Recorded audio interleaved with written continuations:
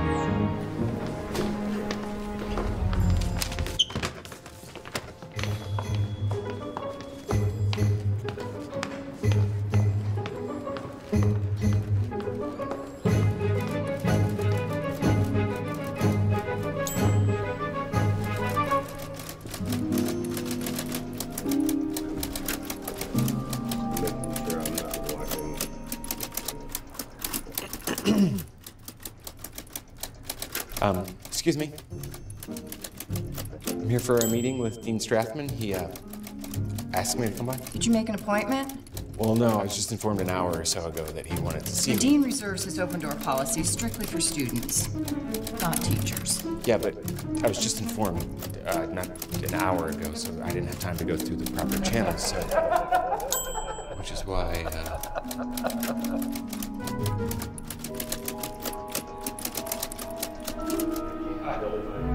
Excuse me, Mr. Dykstra. Mr. Dykstra. Mr. Dykstra. Hey, your ears must have been burning. Oh, John. I'm glad you made it. Uh, come on in. If you could. There you go. Thank you. You know, you might want to start getting used to all this. Handling my things. What suits you better? I'm just kidding, man. Russell, this was all very constructive. I look forward to hearing from you. Thanks, Roger. Johnny, let's catch up soon. Take it easy, pal. John, why don't you close the door and take a seat?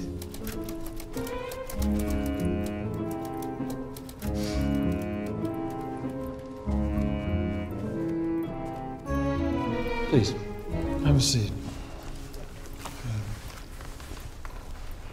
very stylistically uncomfortable hmm. feeling. Chair of the department. That's quite a coveted position. yes. Yes, it is. And it can be unrelenting, you know. Asks a lot of you. God, I should know I'm a dean for Christ's sake.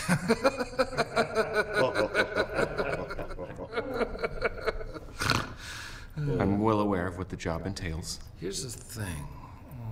Wait, am I in question here? Whoa, no, no, no, no, no, no. No one's uh, questioning your ability, John. Hell no. I mean, am I right, Mitch? Uh, no one's, no one's, no one's questioning. There's no question, John. That's why you and Roger are the top considerations. Who is that? That's uh, Mitch Forsyth. He's uh, from our psych department. I'm confused. You see, uh, it's a it's a tough decision I'm going to be making, and uh, frankly, it's one I can't make on my own. Yes, but you're the dean. You're the only one that can make that decision. Yes. Yes. But even so, um, sometimes even I need guidance, which is why I brought Mitch in to merely consult on this. But we're talking literature here. I'm a literature professor. You are, and uh, and a stand-up one at that, top notch. Top. The fuck I'm is sorry. going on? Sh- should I be worried? Because I I'm a little worried. And I, I still don't know why he's here. Mitch is just a consultant, John. Mere consultant, John. Yeah. And you're having coffee with Roger behind closed doors? I have 12 years going for me, and he- here I am, cheeks clenched, afraid of some fucking kid. Whoa, whoa, now, John. Hey, hey. Now I, I know you're probably anxious for a decision, but there's there's no need for the vulgarity. Nobody is questioning your loyalty here. We just need you to stay focused on what's right in front of you, because you seem a bit um, lost. Uh, the new book has sidetracked me a bit. That's what we uh, are concerned about. Distractions, John. distractions that could hinder your ability if you were to be made chair. Now, uh, why At don't least I they're have clear Louise make a small about coffee? I uh, actually can't stay here. I have a prior engagement that I need to get Oh, to. that- that's not a problem. Some other time. And uh, remember, John, the decision I arrive at has no bearing whatsoever on you or your character in this university. Now, take it easy, okay? Oh, and Louise, could you please bring us some fresh coffee? Nice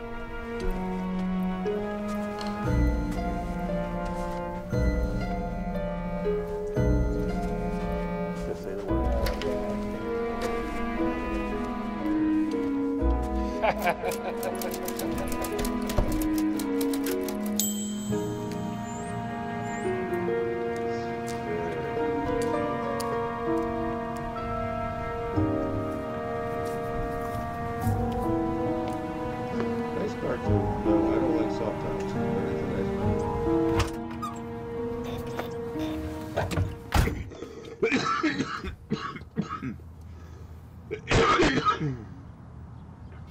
What the fuck?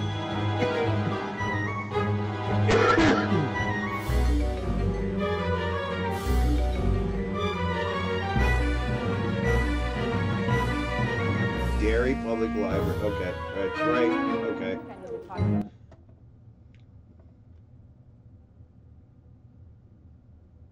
I forgot that we were in a fucking Stephen King movie.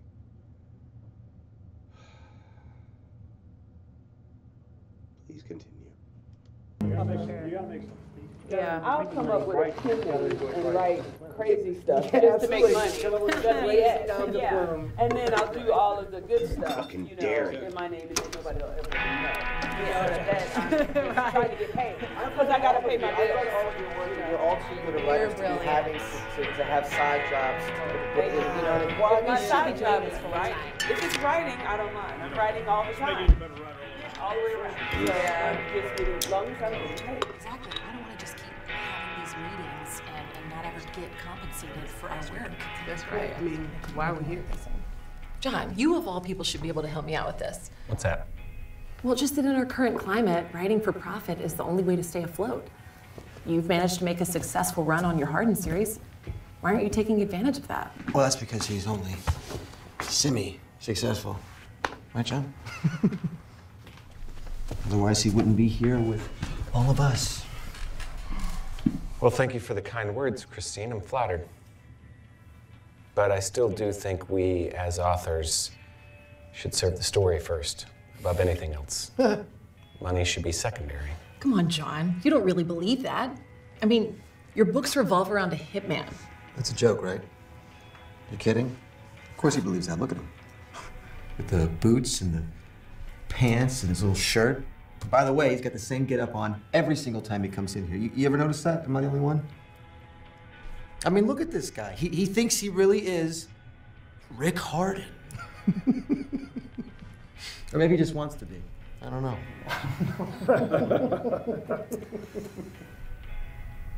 By the way, John Boy, just so you know, this whole rebel thing you've been cultivating, it's it's it's really not working for you. I If, uh, think you're just a Sneaking alcohol into a library is the full extent of your rule breaking. Maybe it's time for you to cut your losses.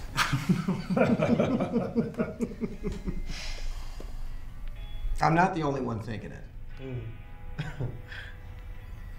Excuse me. I need to use the restroom. Oh, come on. Come on, lighten up. Rick! Sorry, John, John, John, John, John. I do actually need your help on something. It's something that only you can help me with. Yeah? Great. Um, what is your going rate? Because I've got this neighbor with a real yapper of a dog.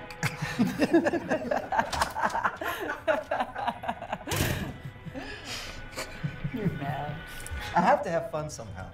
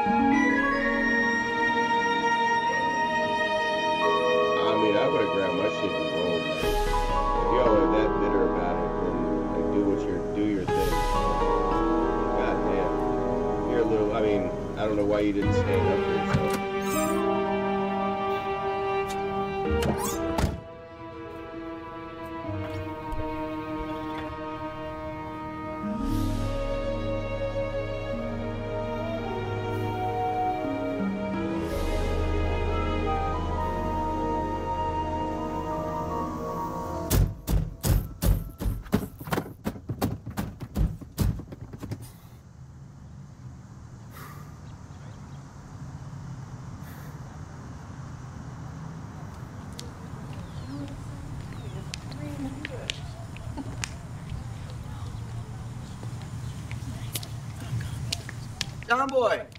Hey! Man. Listen, no hard feelings about um, all this stuff earlier, right? I mean, my tires aren't slashed or anything.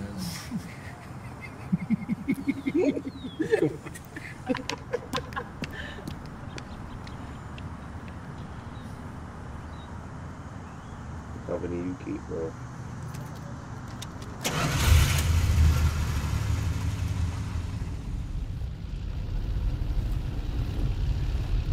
This is a great. Oh, wait minute. And on the local front, two more Derry teens have gone missing today. Those of Hillary Walker and Dustin Riley. They were last seen walking along the canal near Bassey Park. If you have any information concerning the whereabouts of Hillary Walker and Dustin Riley, please contact the authorities.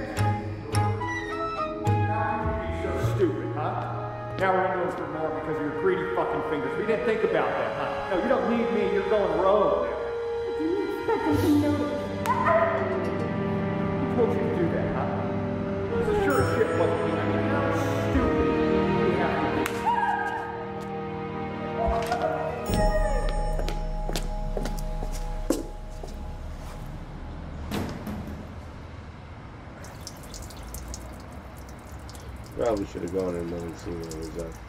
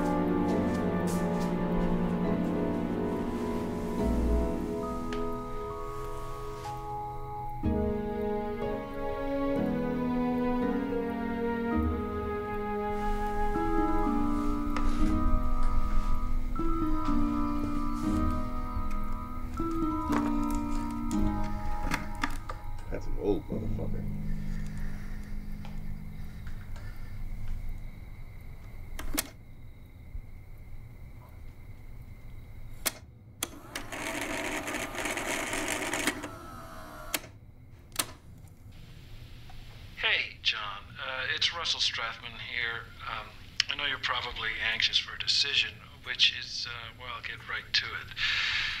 After much deliberation, we've decided to offer the chair position to Roger. Uh, but please know this, this decision does not reflect badly on you. We just uh, feel Roger is a better fit at this, at this time. Well, uh, if you have any questions or want to talk, uh, please just uh, stop by anytime, okay? All right, take care. Louise, have you seen my keys?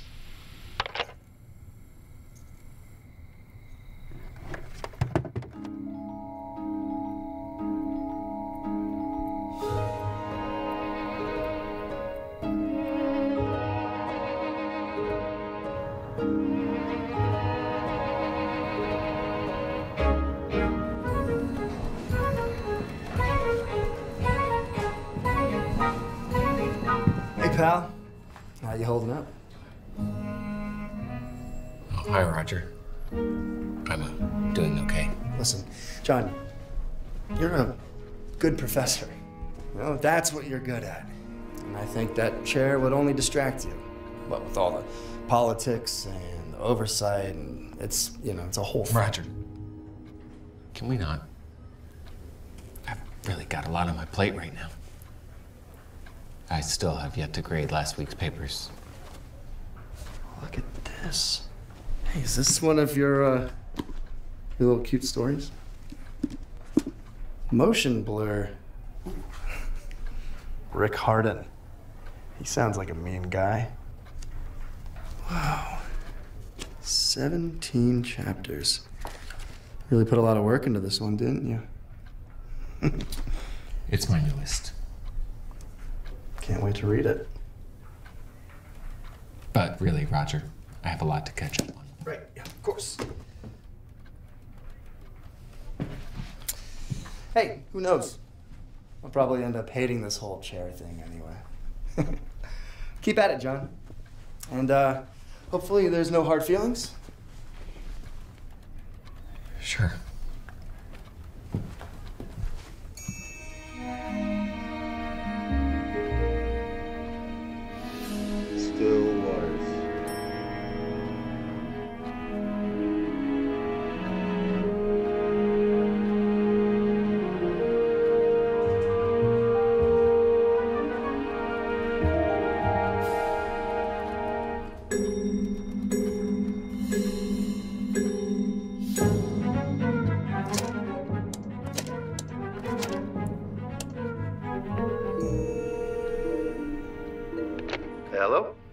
Roger, it's John. Oh, hey, bud. I just want to say, you deserve getting chair. And I was being a sore loser. To make things right, I'd like to take you out for a round of congratulatory drinks. Maybe tonight after work. Oh, John. I knew you'd come around. And you know, my my lips are dry, so I think I'll take you up on that offer. Why don't you swing by my office today and we'll hash things out, okay? Sounds perfect. Sounds good, pal. Looking forward to seeing you.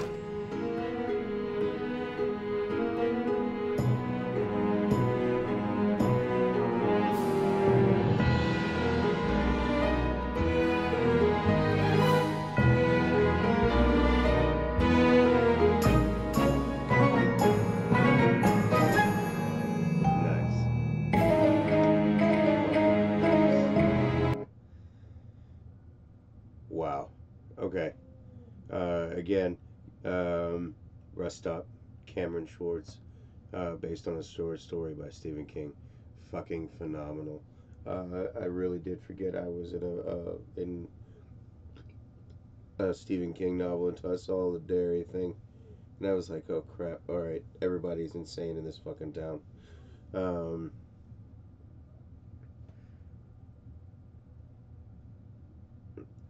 So the um, the byline was based on a short story by Stephen King. Rest Stop follows a sheepish college professor and novelist John Dykstra, Stranger Things Randy Havens, in the year 1975, who, on his way back from one of his monthly author meetup groups, pulls over to a rest stop. What would be a routine pit stop spirals into something much more sinister as John overhears a domestic assault emanating from the woman's bathroom. Uh, John must, must make John must make a decision about whether to let his cowardice relieve him of any responsibility or embrace his alter ego and attack the situation head on. The decision he ultimately makes will forever change the man he is. Be it good character or bad, John Dykstra's simple life will now be anything but. Also starring The Conjurings and House of Cards, Stephen Coulter, and Rectify's John's Jason Warner Smith. Hell yeah, that was really good. Um, going over to Cameron Schwartz. Show him some love. He's got a lot of stuff. Um, and uh, if you like what I do, uh, like, subscribe, share, follow, all that kind of good stuff. Uh, be safe, be happy, be healthy. I love you all, and I'll see you in the next one.